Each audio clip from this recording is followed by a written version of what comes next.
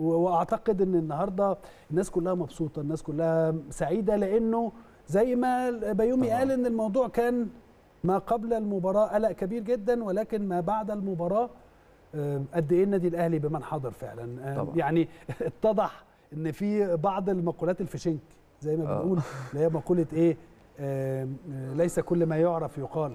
عارفين عارفين المقولة دي؟ آه معلش إحنا جايين نقول المقولة دي. عاملة لي هس هس في دماغي. إحنا جايين ف- نقول النهارده اللي ما اللي المفروض يقال بقى. المفروض يقال آه. بقى فيعني في حاجات بتطلع في شنك وفي حاجات بتطلع كويسه المفروض آه، مقولة الأهلي بمن حضر دي تدرس في المناهج بصراحة. آه. بعد اللي بيحصل ده دي واحدة من المباريات التاريخية اللي هتبقى دليل على عظمة النادي الأهلي وروح النادي الأهلي. يمكن أنا كنت امبارح مع حضرتك قلت لحضرتك محتاجين حاجتين في المباراة دي. آه.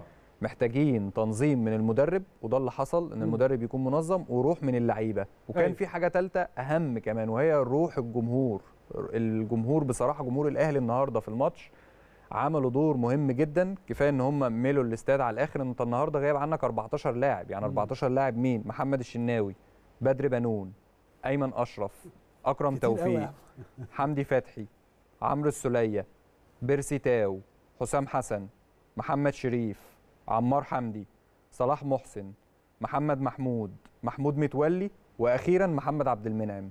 14 لاعب غايبين عن النادي الأهلي النهارده وبتكسب وبتلعب بالروح دي وبتكسب مونتيري المكسيكي.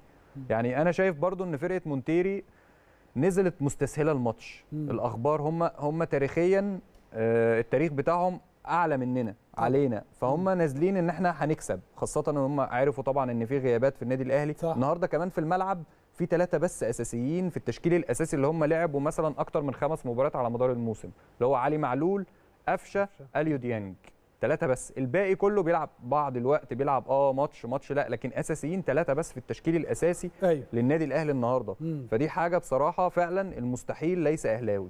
مظبوط. المستحيل ليس أهلاوي يا كابتن إسلام.